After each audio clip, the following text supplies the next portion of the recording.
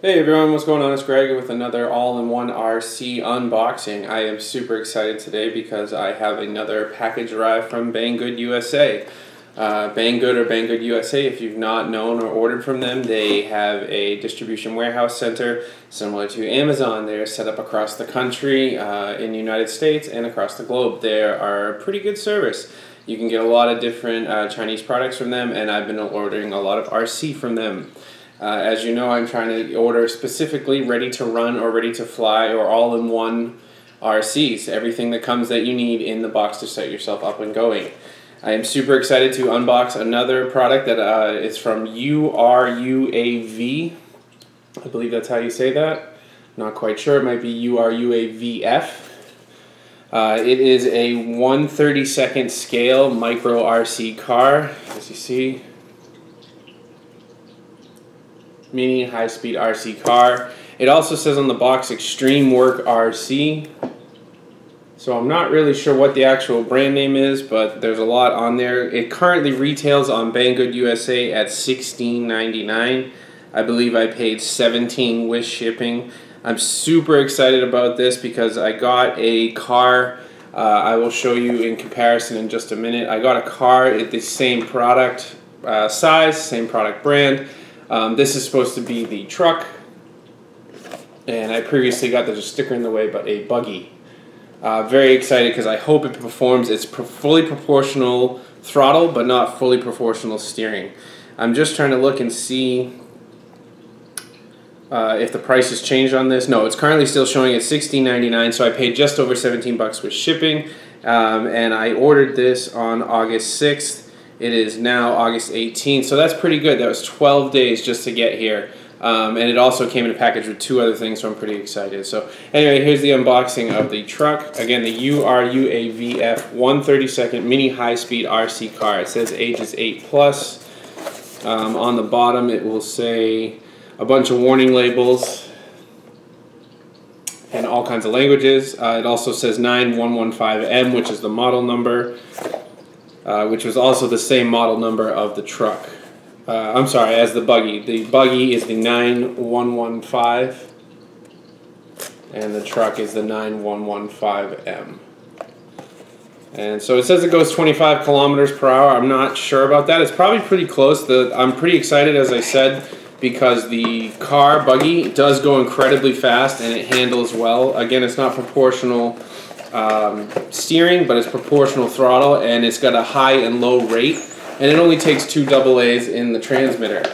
So uh, it charges incredibly fast. It's less than a half an hour, probably 28, 27 minutes, something like that.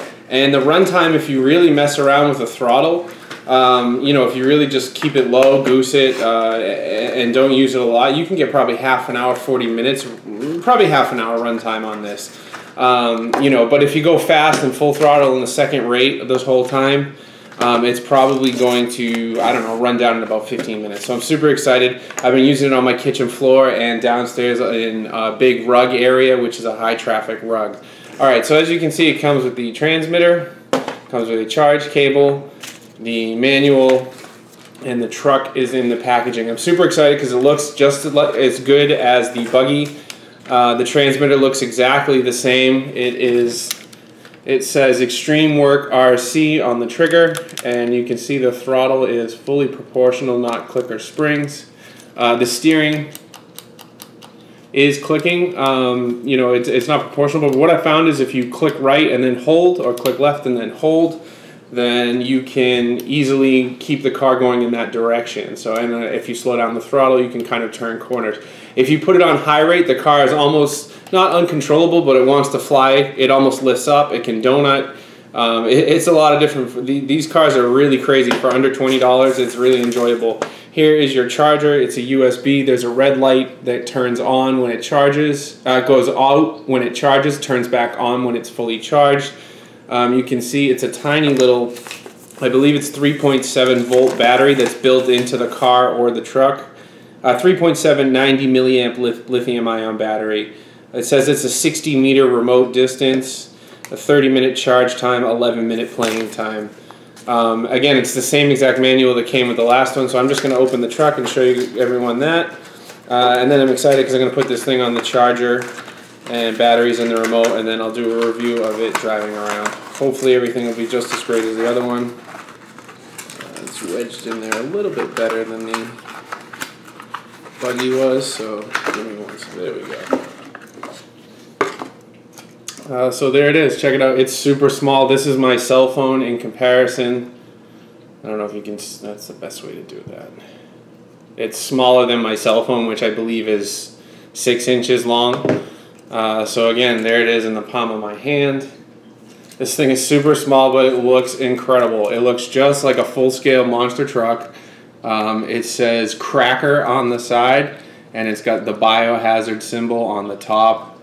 Uh, decals on the back, green. It also says down the side, Born to Race on the back there's just tail lights. It's a pulley it's a plastic body. The tires are awesome. They're actually rubber which is great. The tires on the buggy are not so i could actually probably take this outside which is exciting.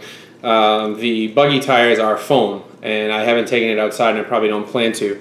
On the bottom you got your charge port and an on off switch. Again the car charges in about 25 to 27 minutes and runs for a good half hour depending on how much you use the throttle um, it does have two pins on the back, which I believe you can take off and look at the body, but I'm not going to do. I'm sorry, there's a pin on the front as well, so three pins total to take the body off if you wanted to change it. I haven't looked online. Maybe they have some swappable stuff, but all in all, it looks really cool. Um, again, it's super, super small, but super fast if it's anything in comparison to the buggy, which I think it will be.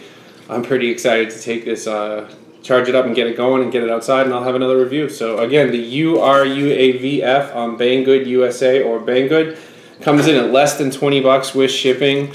All I need is two double A's and a half hour to charge it, and I guarantee you'll have a lot of fun. Enjoy.